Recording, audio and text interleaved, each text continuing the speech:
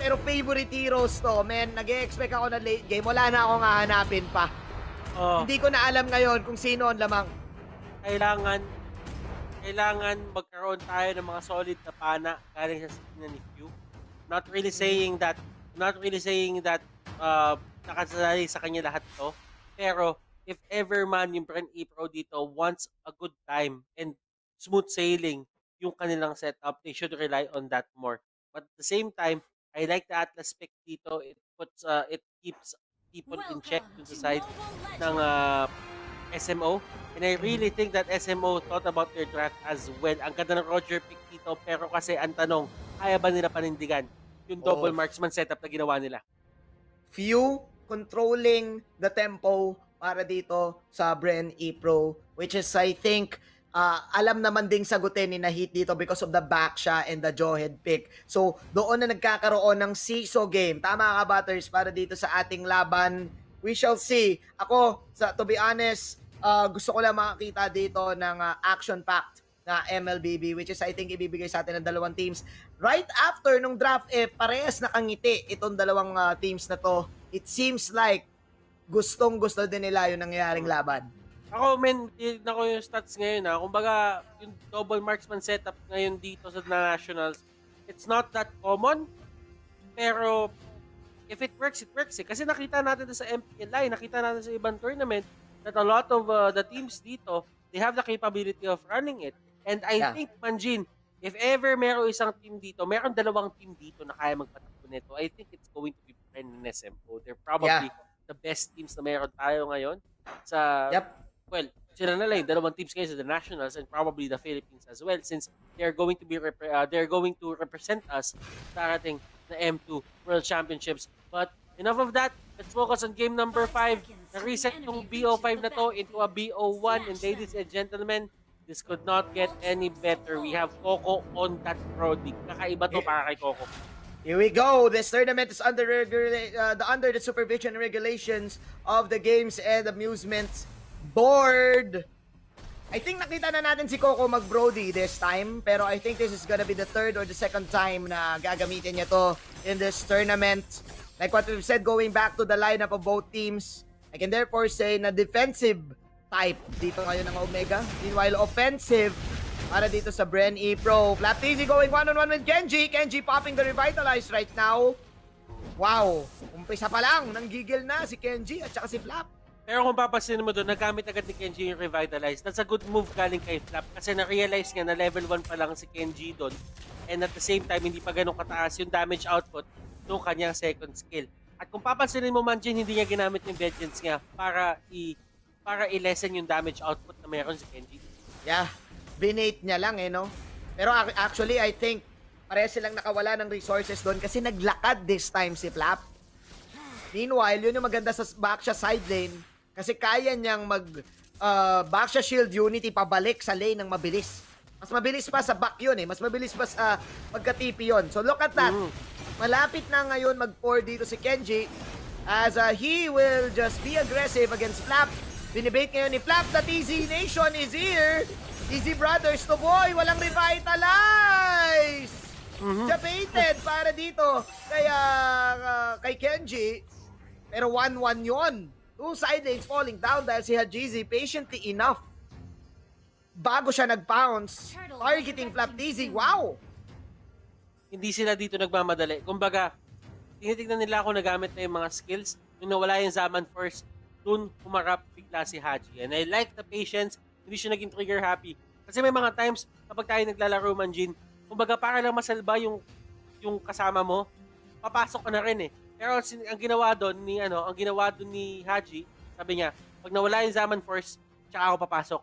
Kasi kapag pumasok ako ngayon, very possibility na mag-turn sa akin si Flap at si Carl. At kapag nangyari yon mawawala yung dalawang buff ko. Doon mo na makikita talaga kung gaano din kalupit Mm. si uh, Hajizi on the carry department.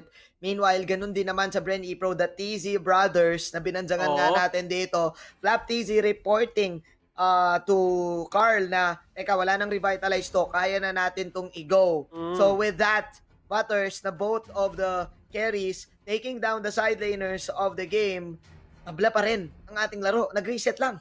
tabla pa rin. Kumbaga, sinabi mo nga na doon sa pananaw mo kanina na pantay lang sila in terms of the duel na nangyari sa kanila. Ngayon, pinantay pa rin ni Haji kasi nga may kill pa rin na nakuha. Ang difference lang para sa akin doon, Manjin, is nakuha kasi ni Haji yung crab point dun sa site na yun. O Oo. parang may takeaway pa rin sila na kahit konti, at least panalo sila doon sa may mismong laban na yun. Baka yun yung dahilan kung bakit ah, 600 or 300 gold away ang ah, difference dito sa nakikita nating 2 minute mark. The, the turtle is now up.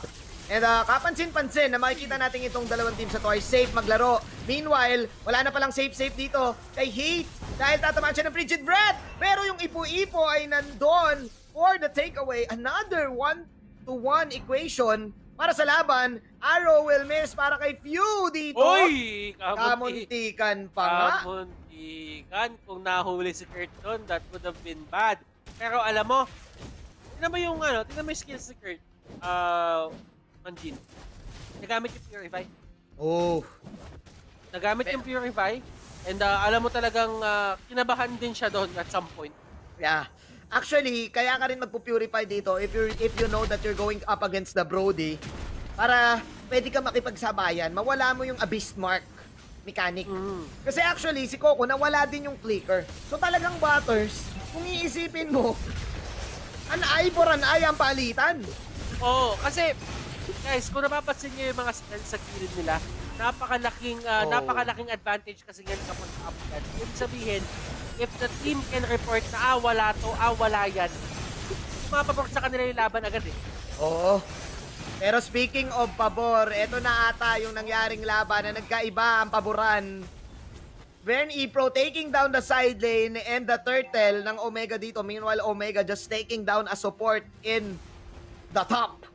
Plus, hindi pa nila nabasag. So, I can therefore say Bren E-Pro ang nanalo doon sa nangyaring equation na yon, Butters.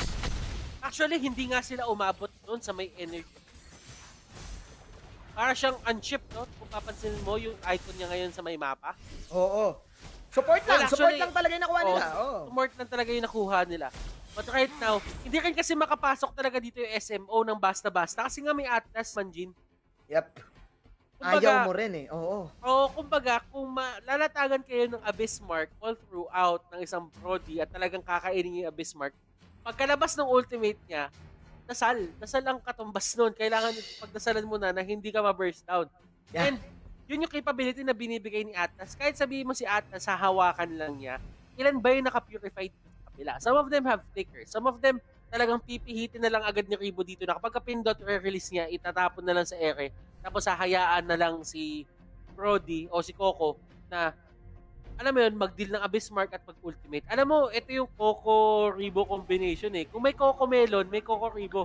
May Coco Ribo din. Ito yung ah, tag team ever since nung nagsimula sila sa pagiging champions Mm. sa mundo ng MLBB Esports. And gusto ko na pinoint out mo yun, no? Kasi yung combo between the Fatal Links at saka yung ah, ah, Abyss Marks, yung Mm, ah, the- yung Or the or the Part Part Memory. Napakasakit kasi ang maganda kasi sa Abyss Mark, even though ah, skill type siya, pwedeng apat hanggang lima ang tamaan basta nakapila dito yung mga kalaban Mm. mo. And madaling mapapashoot yun ni Coco kapag nakapag-set up sila ng magandang Fatal Links.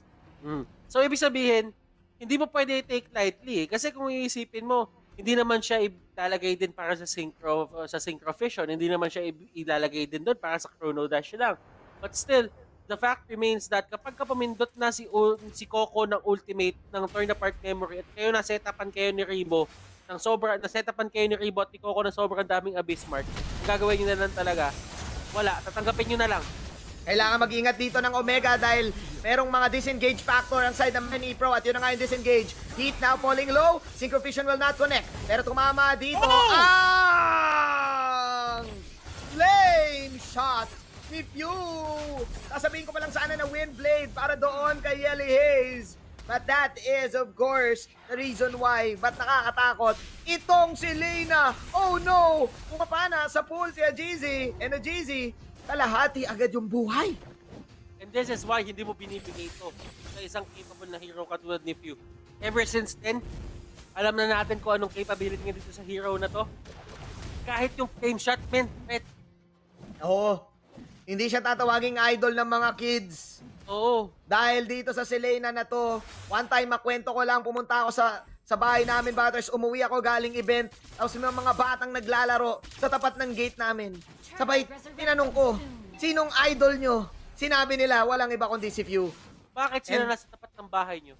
Eh, syempre, nag-ML sila doon. Ah, Oo. anong kinukuha nila? Eh, syempre, alam nila na doon yung bahay ko. Ah, matik, matik, Inaabangan matik. nila. Anyari Matik, sa'yo, matik. Kuya Ah, Butters. tama, tama Oo. naman.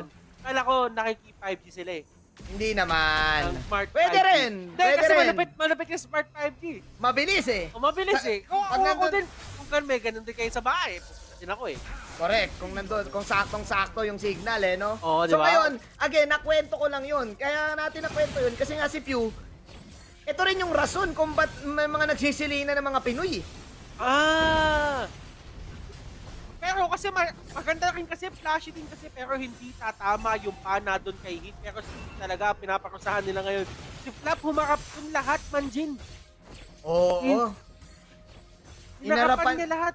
Ito actually yung laro ni Flap eh, no? Siya yung nagiging main ah, sacrifice lagi sa side ng E-Pro. Wala siyang pakialam even though mawala siya.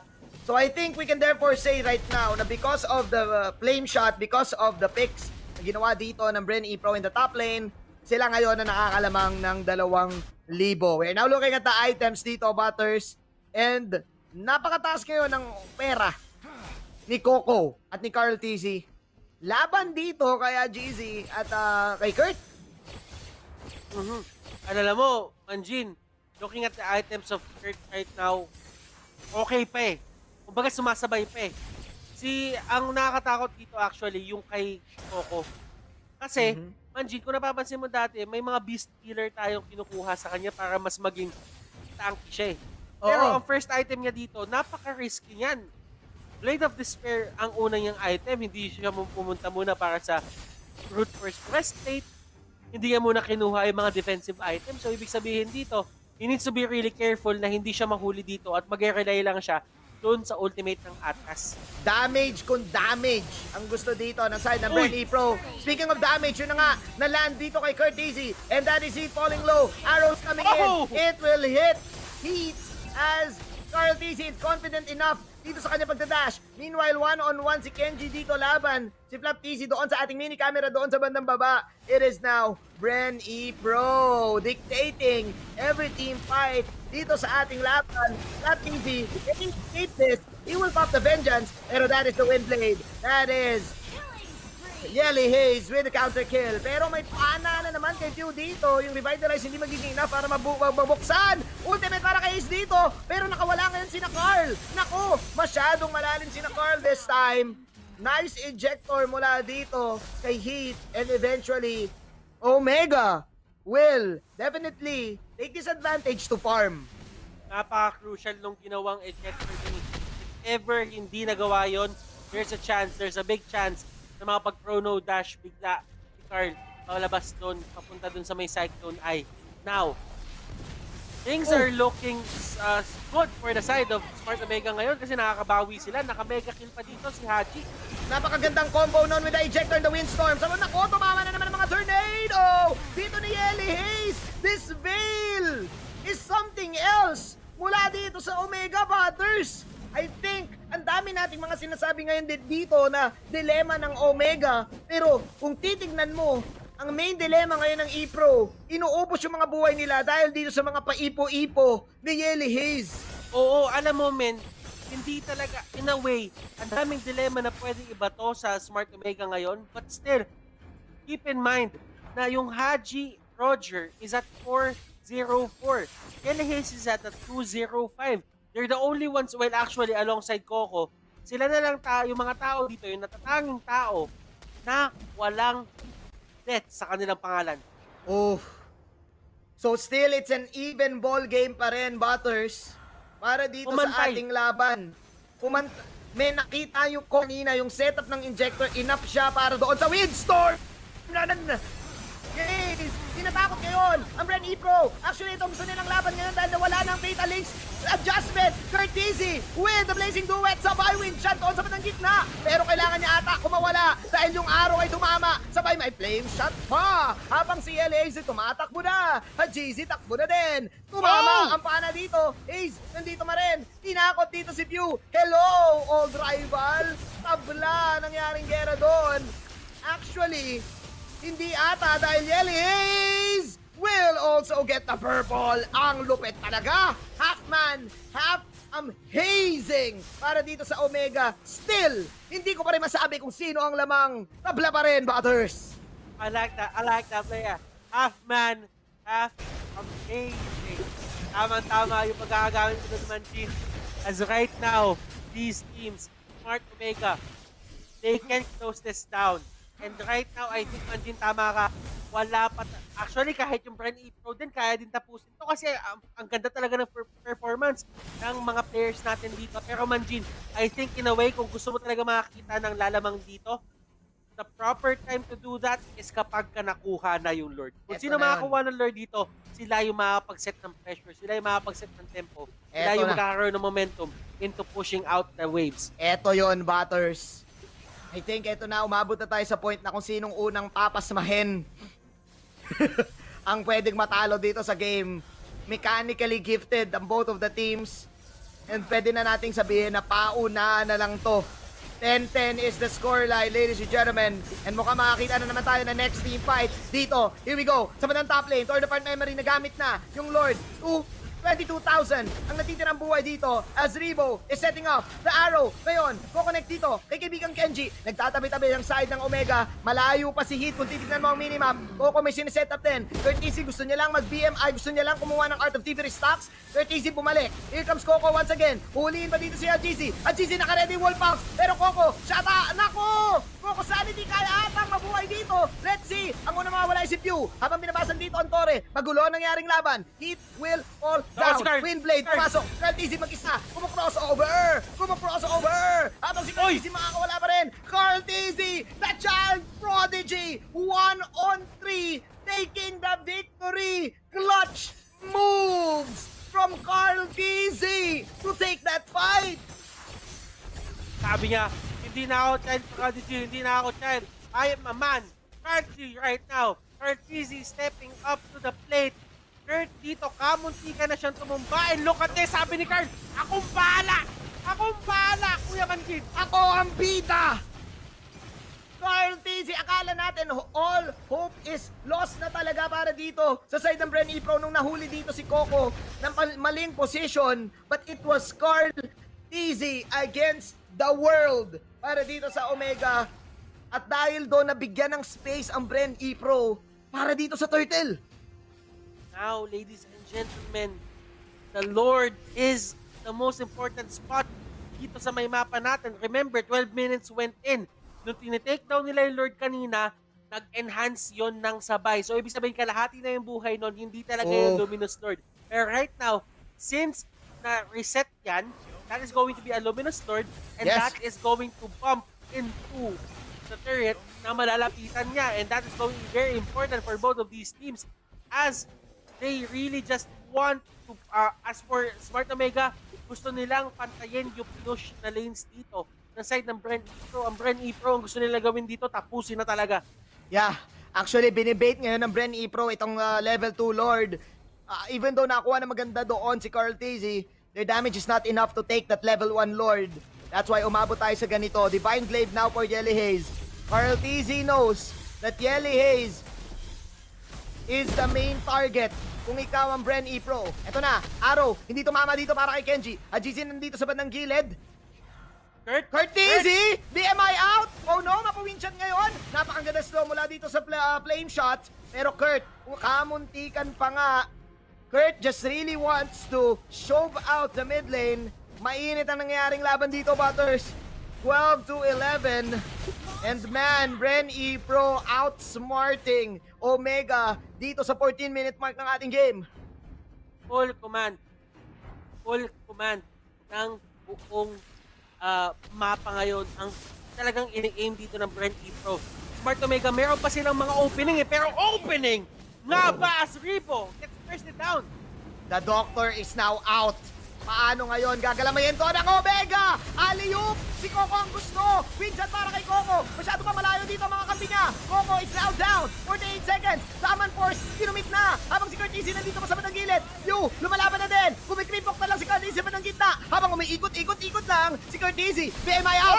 Pero tumama na naman! Dito ang Windblade and Tornadoes! Windstorm para kay Yelly Hayes! And that Ladies and gentlemen, people of the world, Omega A, take this level 2 Lord. Yes, they will. 14 to 12, clutch pickups para dito sa Smart Omega. Kelly Hayes, the last airbender, ladies and gentlemen, talagang hinuli Ooh. niya yon.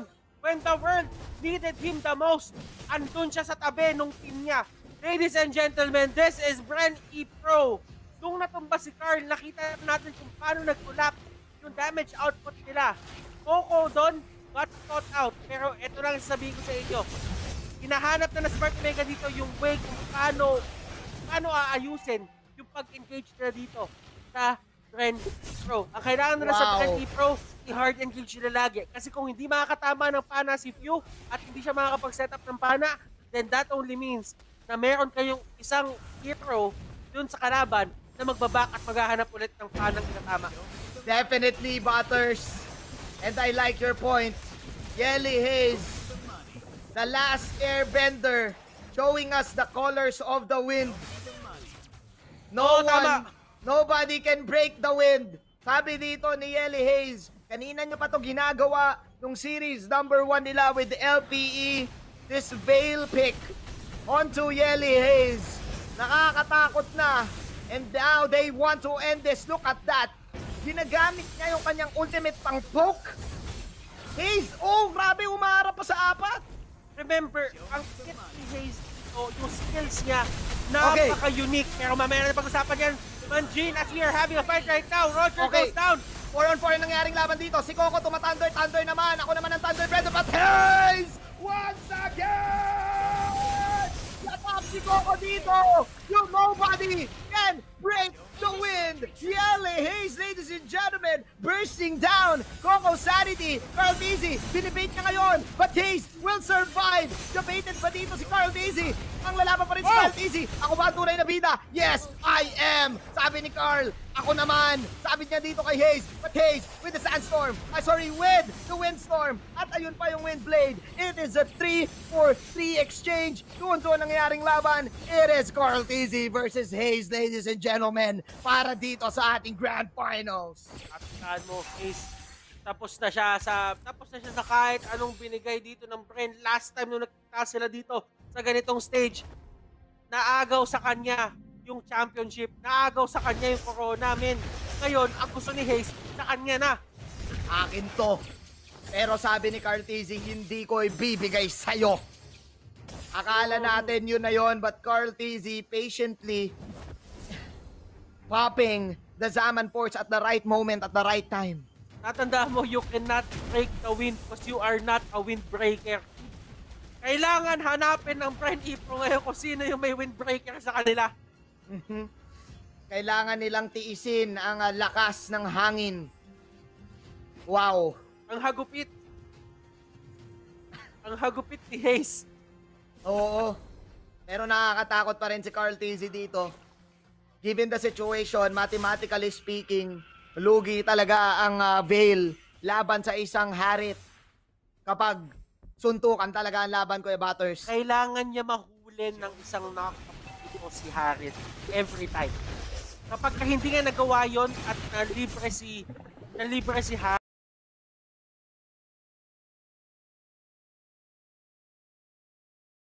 Harris, na makaabot sa kanya, wala siyang, men, wala siyang ano, wala siyang uh, clicker. 5 kills naman siya and 10 assists. So, ibig sabihin, baka may chance. Pero, almost always certain, kapag nakita ni Carl si Yele Hayes, pupuntahan niya si Yele Hayes. Yon ang kanyang main target, Butters. Wala nang pakialam si Carl. Dahil dyan tumabla, tumabla pa ang laban. Mukhang eto na next sa laban, ladies and gentlemen. May ejector na gaganap dito. Naka para kay Ribo. Baka mag-set up siya ng Fatal Links. Mukhang hindi na. Carl Tizzy. Tita may iwan dito. Flicker out. Si Coco na. Untog na ng gilid. Habang si Heat. May ejector pa ba siya ng pangalawa. Tumama ang pana sa kanya. Kalahati ang kanyang buhay. At ayun na yung mga sides. Backs out. Para dito side ng Bren E Pro. Initiate the retreat. Para dito sa dalawang teams. Yung dalawang team na yon gusto talaga nila kunin yung Lord. Now, the setup there was gusto talaga nila makakuha na isang pana probably doon kay Haji, kay Hayes, o kay Kurt. As much as possible, tanggalin nila yung Purifier right now. If ever si Haji ang tamaan dito, Haji is probably the easiest target sa talunan. Pero kasi, yung dalawa lang naman, dahil lang naman meron silang Purify eh. Yun lang naman yung nagiging problema eh. Oo. The Purify is the dilemma. And I think, actually, nang bait out pa rin ang Bren E Pro dito ng laban.